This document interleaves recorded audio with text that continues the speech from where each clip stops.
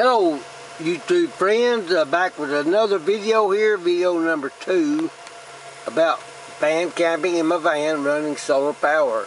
Hot plate, refrigerator, laptop with the video playing, lamp, cigarette plug in the dash with USB ports running off these three batteries.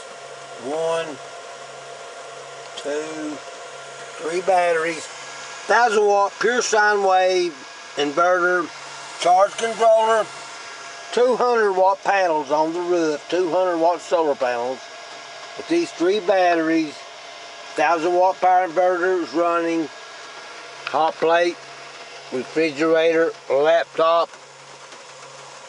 My phone is plugged into the laptop so it charges the laptop and the phone folding table back there, coolers, seven gallons of water, you can't see, it's covered up, seven gallons of water, four gallons of water in this tote that I use for a table, camping in the van, frying spam, spam is frying,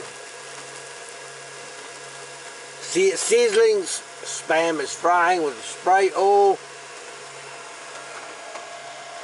three batteries, two deep cycle, and one 700 cranking amps.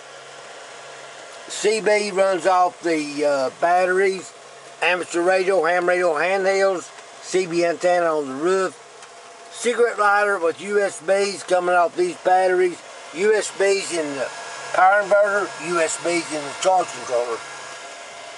Everything runs off solar, hot plate, refrigerator, it's all running, computer, video playing, it all runs off solar, off those three batteries. Thank y'all for watching. Please subscribe to my channel. Click like on the video. I'd appreciate it. I'll be back with something else.